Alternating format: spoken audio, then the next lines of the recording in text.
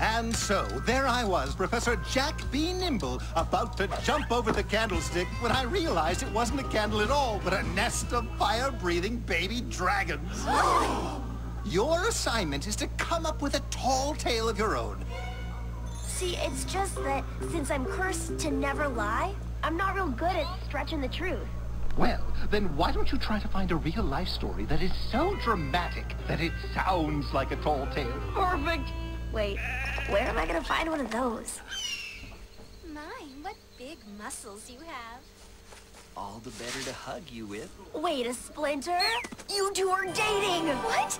No, that's silly. Of course we're not. Romantic picnic? Um, heart-shaped cupcakes? Really, guys? Come on. Uh, these aren't romantic. My uncle made them. What about this? Your initials? Inside a heart? Oh, we didn't do that. Must have been that, uh, woodpecker. Bad woodpecker. Uh, okay, well, what about this?